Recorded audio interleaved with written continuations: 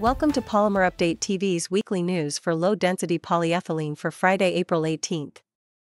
European LDPE spot prices slightly down amid market uncertainty.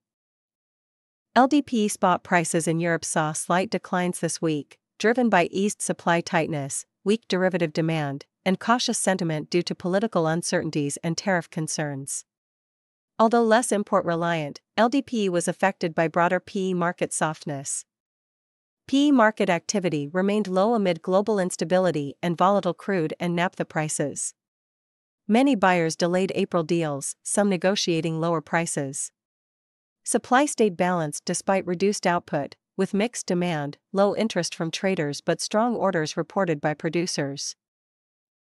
The EU's proposed 25% tariff on US PE, initially set for April 13, was postponed, easing immediate impact. Full effects are expected by May. Easter plant shutdowns have also temporarily reduced demand.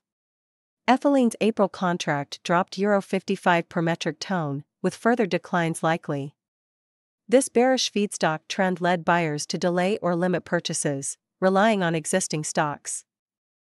Despite falling monomer costs, producers aim to maintain or slightly increase prices, adjusting targets due to market volatility and tariff related uncertainty.